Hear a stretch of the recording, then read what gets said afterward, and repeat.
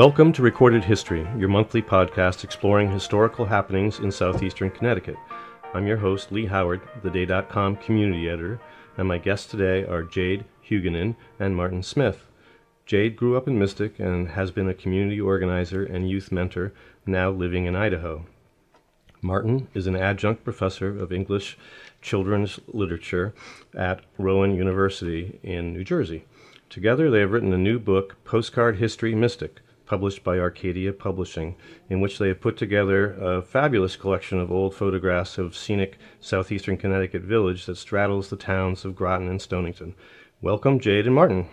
Thank you. Glad to be here. Thanks so much. All right. Well, I think we should mention right away that uh, Jade and Martin have put together a panel discussion about local history, uh, specifically uh, Mystic and Groton, that will be held uh, at noon, August 18th, 2018, at Groton Public Library.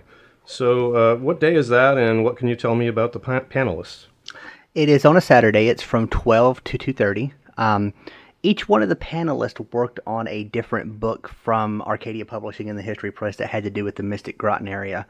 Um, and it's one of those things where it's rare. You rarely see an area that has so much history dedicated to it that can justify nine volumes, but that's how many books are here. Um, and, we've got panelists that is diverse from you know tenured college professors to Vietnam veterans, former mayors, uh, community organizers, uh, people just starting out in academia, retired librarians, uh, people that do haunted ghost tours. Oh, so good. there's a big variety of um, people that are involved with this, and we thought it would be fascinating to kind of get everybody together and let them talk. Great. I know Jim Streeter, who was one of our first uh, podcast victims uh, here, uh, uh is one of your panelists. Uh, who else? Uh, any people you can um, name by name that people would be familiar with? Dr. Fott. Dr. Leif, uh, She is a tenured professor of history at Le Moyne College up in Syracuse. Um, she wrote probably the most detailed academic work on Mystic in the area uh, and it was published through the History Press in 2007, I believe it was. Just a fantastic volume. We actually re- used it to reference when we, we were writing our volume. Mm-hmm. Mm-hmm. Yeah. So, yep. and then of course Jim, and then Lisa Saunders, who everybody knows. Uh, yep. She co-wrote the mod- uh, the Images of Modern America Mystic book. Uh, Haley Keeler, who used to run the library, mm-hmm. um, she's retired sure. now. Um, Courtney McInvale, I believe is how you pronounce her last name. Uh, She's uh, the one who runs the ghost tours. Yeah, she runs mm-hmm. the uh, Haunted Mystic Ghost Tours. Uh, Bill Tishner, who helped Jim write the book that Jim wrote on um, the Groton Mystic Emergency Services, and mm-hmm. then Lou Aylen, who is the president of the Mystic River Historical Society as well. Okay, great. And uh, why did you why did you decide to put this panel together, and what do you think local people will get out of it? Well, it was fascinating. Uh, I've written six of these books now in six different geographical areas around the country. And one thing that I ran into when we were working on this volume was that the names in the community were known. With the Philadelphia work I did, for example, everybody's kind of spread out, there's different generations of people. But with Mystic, you had a very kind of tight knit community of historians. And so I thought it would be fascinating to get nine people with very not nine very distinct writing styles together in the same room and let them talk about the different areas of history that they're experts in. Um, Jim, of course, is a, as you know, is a wealth of knowledge. Um, and, and, you know he makes new discoveries once a week. Uh, it seems. um, he writes a column for the Times papers, which are run by the day as well. So mm-hmm. we like to have him write us a column once a month. Yeah, and they're always fascinating. I think we ref- we used a couple of those as reference points while we were researching. Um, but I mean, eh, but you have people that are career academics, and you have people that were just doing this because they were passionate about the area. So we decided to put them all in a room and you know let them talk.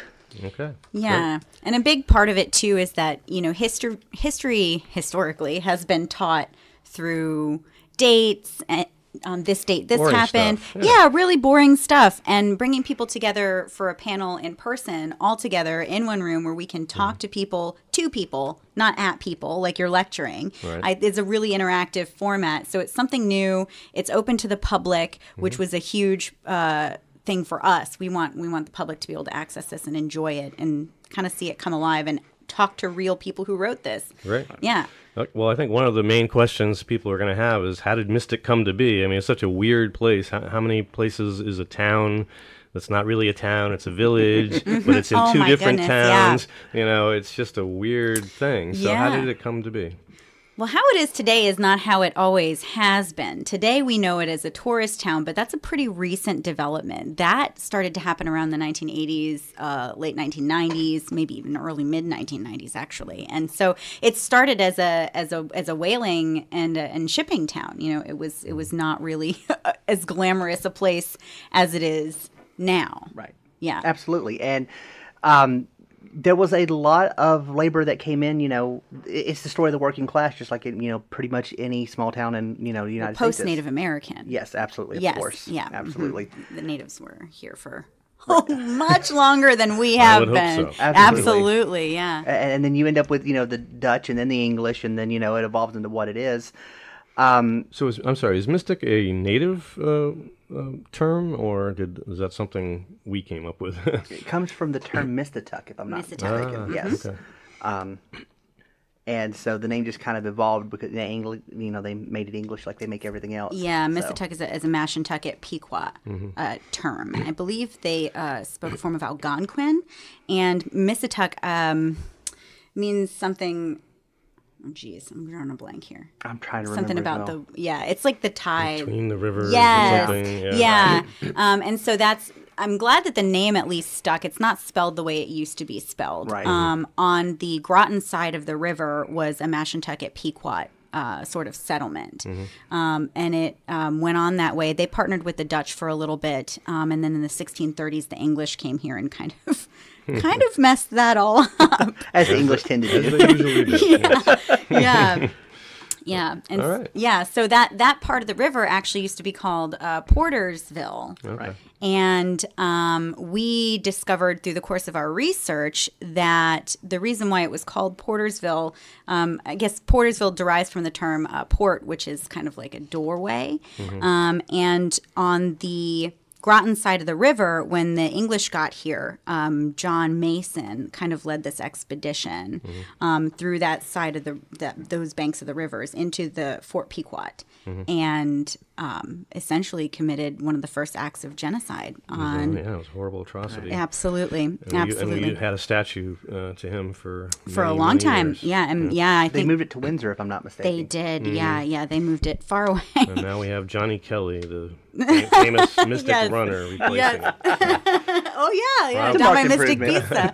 I, I think it's a, a, a much better uh, thing. I used to know him well. He used to write a tennis Oh, column for, or I'm sorry, he, I wrote a tennis column for the day, and he wrote a running column for the day. Yeah. we used to run into each other here in the halls uh, quite often. He was Yeah. a great, great guy. So tell me a little bit about how your book came to be, and what is Arcadia Publishing all about? Well, as far as the book goes, we were both in college at the time. Um, I was down in Philadelphia at the University of Pennsylvania, and Jade was uh, up here at Smith College. And um, we had known each other. I'd been to Smith a couple times to visit classes that she had been in and everything else. And she kept telling me, "You have to come see my hometown. You've got to come see my hometown." And I was like, "Okay, well, let's do it."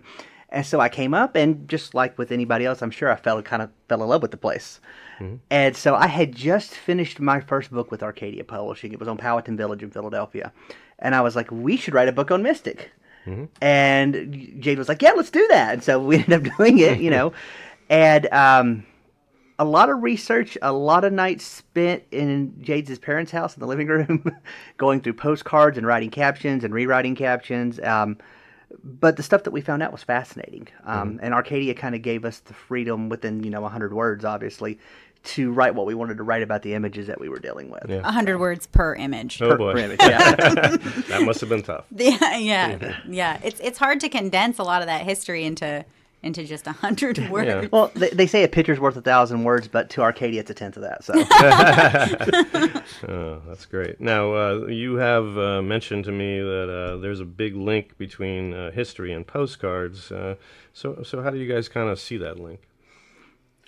it's fascinating. Um, I did some of this research while I was still in college. Um, a lot of recorded history of in the moment, especially in micro instances where you're talking about a very regionalized kind of history, is recorded on postcards. Um, that and the history behind how certain areas came into you know being and how one thing we looked at that was really kind of interesting was even how the post office system worked in mystic where you could send a postcard from the baptist church at 9 a.m and somebody would have it by noon No kidding. um, so yeah, so it- it's literally a written record of what's going on in the world right then and there. And when it came to the government, you know, they weren't wild about postcards because obviously, just like anything else, it was something they couldn't control. Mm-hmm. So up until I think 1898, the law was that if you mailed a private postcard, it cost more than just a government issued postcard. Okay. So it kind of it gives you an insight into law. It gives you a law insight into politics at the time. It gives you insight of what was going on in the daily lives of everybody from you know the elites and the bourgeois all the way down to the working class of the area. So. Mm-hmm um, the amount of history that you can, you know, decipher from that little three by five index card is unbelievable. Yeah. And did the early cards have enough information for you to be able to discern where the photos were taken, or in some cases drawings? I guess, right? Well, yeah. I, one thing I want to add uh, right before I answer that, I mm-hmm. want to piggyback off of what Martin said. Postcards are important to the uh, depict what's important to the locals in that time.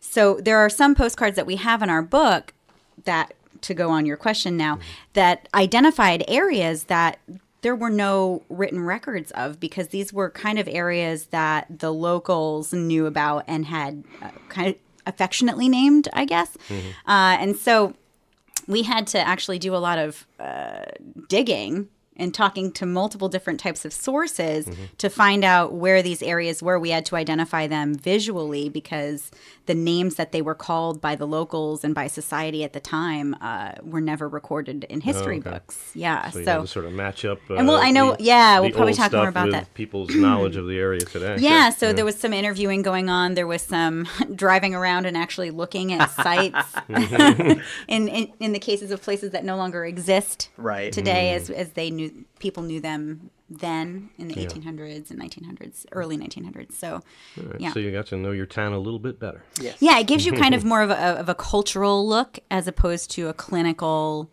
factual historical look. Right, yeah. Right. It's one of those things where they say the best way to learn a foreign language is to be dropped in that country with a bunch of native speakers. Mm-hmm. The best way to learn about history on a local level is just to get in your car and drive around that place for hours and hours and hours. yeah. Make sure you have a map, obviously. uh, that, that, was one thing I learned. And talk to people. Right. Yeah, talk right. to people, yeah. Yeah. Mm-hmm. We found some key people. Mm-hmm. And being from the area, it made it a little easier. A probably. little easier, yeah.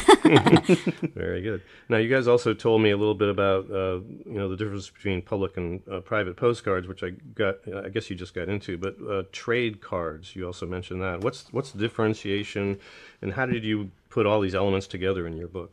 The fascinating thing about trade cards is that initially they were never meant to be used postally.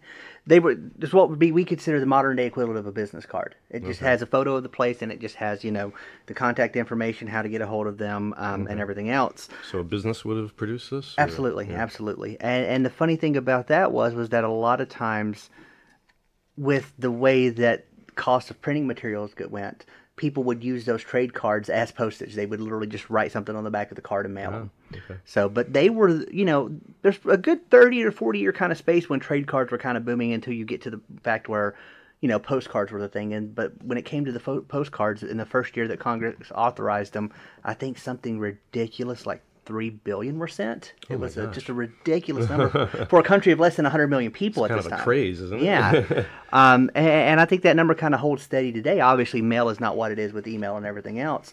But that's about how many Facebook users there are, by the way. So exactly. maybe we it, haven't changed that much. Exactly. Um, so yeah, the the whole public versus private dynamic was just it was a it was an interesting thing to kind of see how the government wanted to undermine private enterprise in that particular area. Mm-hmm. And then they saw how popular it was and they just finally gave it. It's like, okay, we'll just charge you for the postage. government always thinks it knows best and rarely does. Yeah. and, the one trade card that we have here is, is a scene from Bank Square mm-hmm. um, for uh, Sheriff Jim E. F. Brown's livery stable. And uh, we found out it was located to the right of Miss Agnes Park's Variety Shop, which was built by I.D. Miner in 1897 and purchased by Park in 1900, making her one of the chief businesswomen in the area.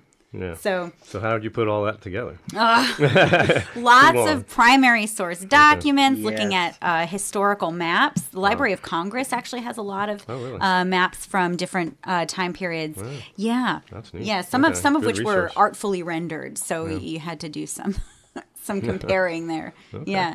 Well, you had a lot of great photographs, uh, yeah. and uh, several of them involve the Rossie Velvet Mill, mm-hmm. and there's some interesting history you, you had in there about the German printers that were here, I guess, around the World War One era. Yes. Tell me a little bit about that, because uh, that I guess that era is come and gone, but we still remember the the Velvet Mill. Mm-hmm.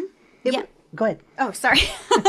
yeah, so the, the Rossie Velvet Mill was actually a German owned. Where was that, by the way? It was on Greenmanville Avenue. Okay. Yeah, and so that was actually German owned until the start of World War One, um, which really surprised me. I found out that the U.S. government repossessed the Velvet Mill because it was run by German nationals. Oh, really? Yeah, um, that's kind of scary to think about in, in today's day, day and age. Yeah, indeed. yeah, and They you can of do that. Yeah, it, and if you look at like the course of history, you know, they say people who uh, don't know history are doomed to repeat it.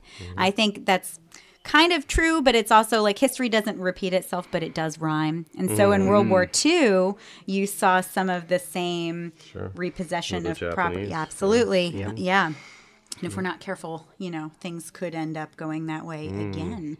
So, yeah, and this actually ties back into postcard history too, because in 1907, they went to divided back. Right. So, um, before 1907, postcards, uh, you would write your message on the front of the card. There was like a white border. Mm-hmm. Um, and then 1907, they decided to start putting addresses and messages on the back of the card. Mm-hmm. They divided the back. But up until 19. 15, 19, 18 ish uh, postcards. A lot of them were printed in Germany because they had superior printing techniques. When World War One started, that ended, and we started to produce a lot of the postcards here in the United States, Mm-hmm. and they were of a much lesser quality. But Yeah. that was another one So of it's the. interesting. Printing became sort of a national security thing. Like we're hearing some national security Yeah. issues thrown around today. Definitely. So it was kind of another symptom of World War One starting. The Rossie Velvet Mill getting re- Mm. repossessed. Um, the postcards. Right. And just to be clear, changed. that's not the Velvet Mill in Stonington, which I think a It lot of people not. will think. It Yeah. is not. No. Uh, today it houses the Mystic Seaport Museum archives. I think so. Yes. I believe. yes. Yeah, Oh, and uh, there might be a couple other businesses in there now, but yeah, it's right across the street from uh, the present day Mystic Seaport. Yeah. Right. Yeah, I've been there. Yeah. Mm-hmm. Interesting place. It is an interesting place. Yeah, Yeah. and Did you use those archives at all? more for background research than yeah. actual material itself. Um, There was a lot of the postcards that they had were duplicates of things that we had, and a lot of it was stuff that was New London County related, but not so much Mystic related, Oh, because I mean everything kind of ran through New London for a while. Yeah, yeah. And so uh, that, and it was one of those things where we wanted to make sure whatever materials we used, we were able to use kind of without encumbrance, Mm-hmm. and we would have the right to kind of put the material together and make the product uniquely our own. So um, they did a lot of good work for us as far as secondary background research. They had some great primary source documents to use, Mm-hmm. but you know, it just from a research perspective. Yeah, pretty much everything we use is open source material. So this is it's it's kind of um, a condensing of multiple different open source Right. uh, resources that we used. We didn't. We wanted to make sure again that it was accessible, and we basically used what anybody has access to. But but the museum does have incredible archives, and anybody can just walk in there and look at these centuries old artifacts. Yeah, it's it's a neat. Well, and the key is having all this together in one spot Yes. too. You know, I mean, It takes time. not everyone wants to spend you know three years working on this. Stuff. and that's why we write history books, I guess. Yeah. it's cool because this is kind of a pictorial history. It's all you have these. Our book is basically just pictures of postcards and a hundred word captions that tell you the basics, the who, what, where, when, and why. And so it's it's kind of a neat way to to look at history. I know people don't like to read. Well, they're good captions. Definitely a lot Yeah, of information, chock full of information. It's Yeah. great. Now, uh, on top of you know, most people are used to seeing picture books with a lot of stuff about buildings, and, and you do have a fair amount of that. Oh, yes. But you also have some really good stuff about some people, and one of them is uh, this guy Chaz Eldridge, who just looks like an absolutely intriguing figure that I had never heard of before. So, what should we know about Chaz? Chaz Eldridge was awesome. Basically, Yes. that's pretty much all you need to know. he was really cool. Yeah, you read about mystic history and you hear about all these esteemed individuals, right? The Charles Mallory, the ship captain, and all these these. Uh, I guess, for lack of a better term, wasps. You know, Right, and yeah. Chaz Eldridge certainly was one, but he was really unique. Uh, we actually read his What, what was the era he was in? Like in the 1800s? Late 1800s to he died in 1915 or 16. Okay. um, I believe. Yeah. uh, somewhere in that time period. So, But uh, Not too many people. Oh, remember later than that. what's he, oh, he passed later. I know his house burnt down later than that too. Yeah. Mm-hmm. Um, well, his. I think you're thinking of his son. His son is. uh, That's right, and that's an interesting story within itself. Right. Uh, his son passed away, and there's kind of some dispute, but based on what we could tell, it was a suicide type thing. And so after that happened, Chaz just completely had a breakdown and left and went to Cuba Mm, okay. for a long time.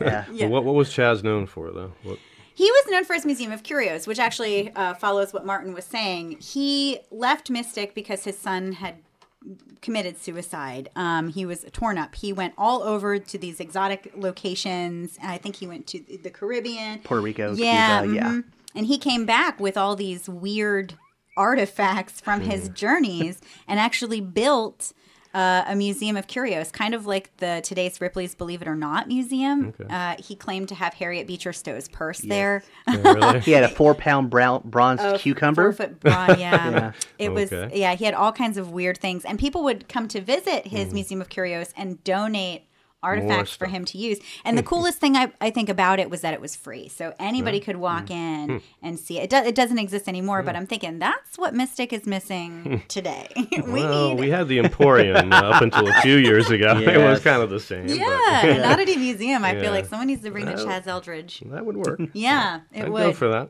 Maybe when I It's pretty cool. Yeah, yeah.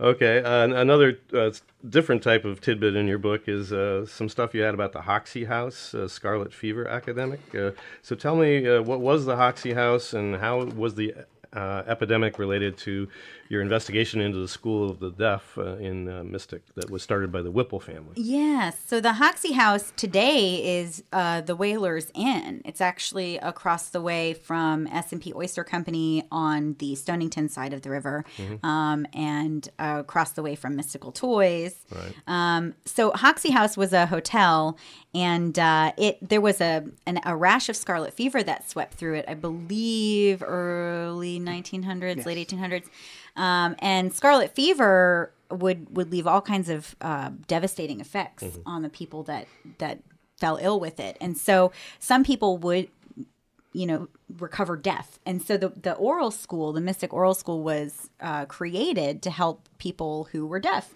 And the whipple family i think is from ledyard and they started um, the, the oral school in mystic. It doesn't exist anymore um, but it was a it was a The huge building help does. Yes, the building's well, right, there. right. Yes. Well, the new okay, so the original oral school doesn't exist. Oh, but really? Oh, yeah, I yeah, thought yeah. Ah, There's okay. different.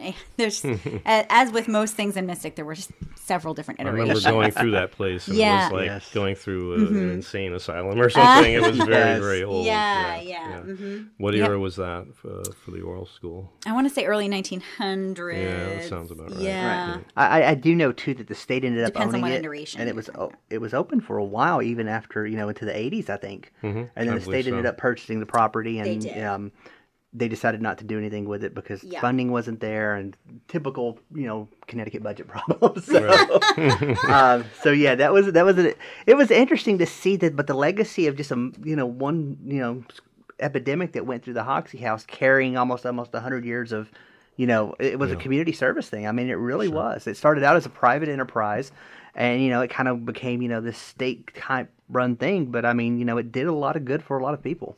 Yeah, and the uh, the advent of modern medicine is pretty fascinating too. Um, I grew up. My mother's best friend uh, growing up was deaf, and I used to think that it was somewhat of a normal thing. It's it's not so much anymore. It used to be, and you know, of course, the oral school fell out of use because of the you know Yeah. advances in modern medicine. Yeah, Thankfully, right, yeah. One of those things you like to see, but Yes. uh, Yes. Yeah. time, time marches on.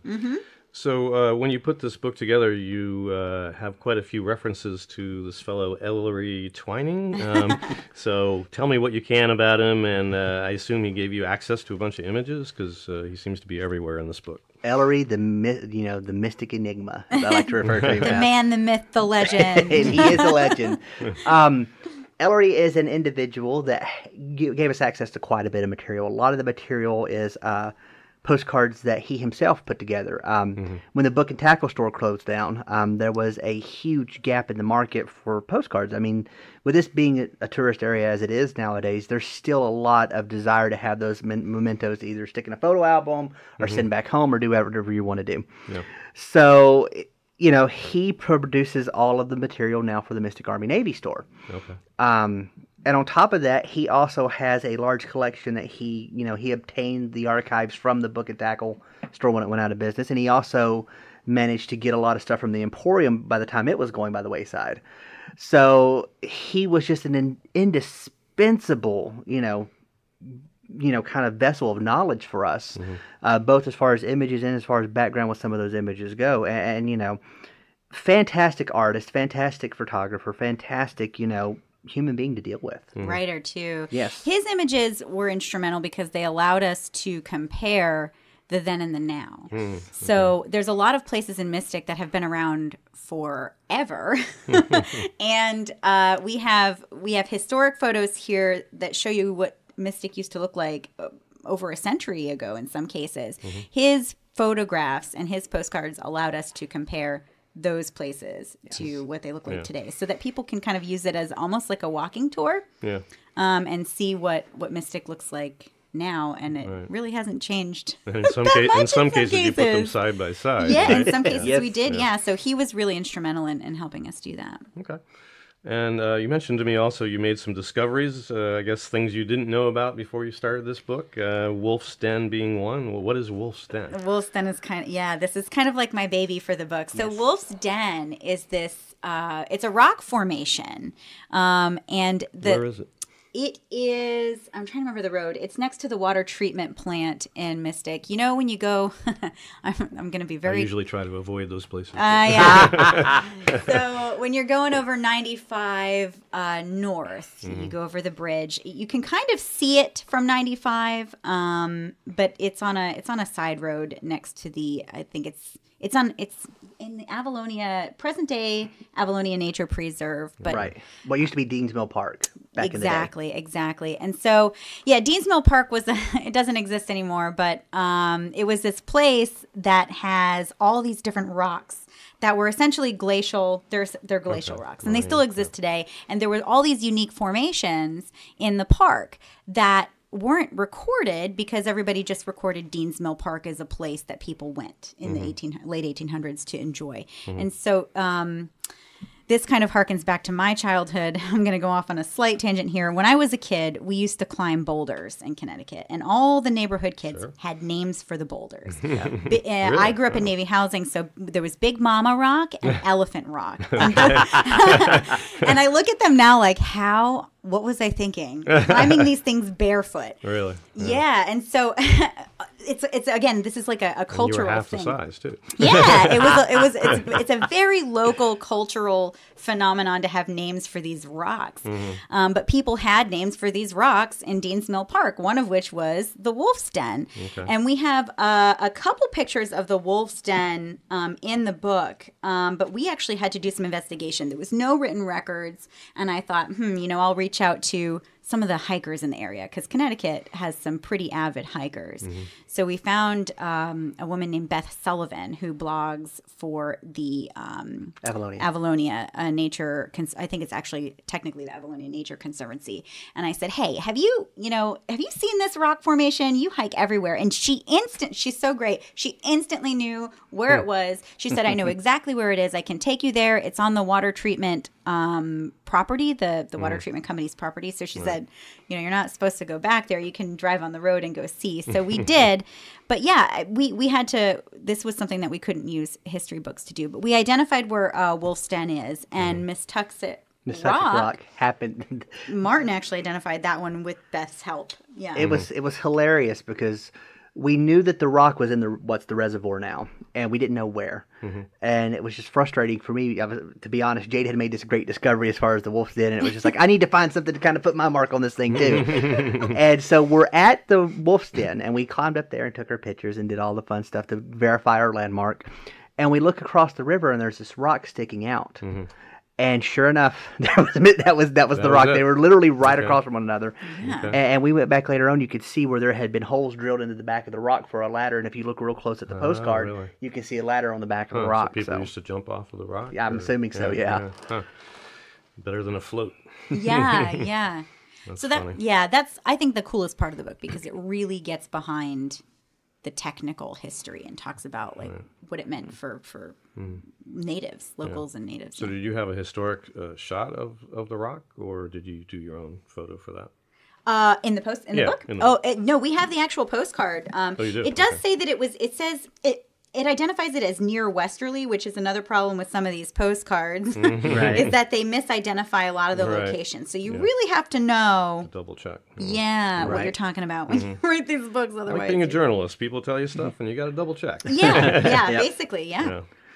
I, I, that happened to me the other day, where I had to physically go someplace to yep. see if it was true. Yeah. that somebody told me something. Mm-hmm. Anyway, um, so uh, so that's great. And uh, finally, Jade, I saw on your resume that you were a direct descendant, going back generations, uh, and your your ancestors were Acadian, I guess, or one of the Acadian yeah. founders. So, what is Acadia? And tell me a little bit about your family's background. Uh, so, Acadia is present day Nova Scotia, and it was founded by uh, well the Micmac Native Americans lived, or not Native Americans, I guess mm. you'd call them First Nations okay. in uh, Canada now, but um, they lived there before the French got there. Mm. Um, the French got there in the 1600s, and um, it was meant to be a French colony. France kind of abandoned it after they sent a couple colonists out there. Mm. And so the colonists began to kind of inter actually really intermingle with the Micmac tribe. Mm-hmm. They intermarried, they really? had uh, children. Yeah. Um, and so the French kind of had forgotten about that territory until the British kind of set their sights on it. so then when the As British, they do. Yeah. so my, my family got there. They came from Martaizé, France. Um, and there's actually um, a plaque in Martaizé on an, uh, a 12th century church uh, dedicated to Antoine Landry, mm-hmm. who left Martaizé and went to Acadia and helped found that. And now there is a plaque in a, a chapel there. The chapel was burned down when the British invaded, mm. as they do. and so, yeah, so the the plaque is there. Um, Antoine Landry is my I think, 11th great grandfather. Okay. Um, but Acadia is really special because it was one of the only places in the New World where um, colonists had truly uh, kind of become one with the Native Americans. Mm.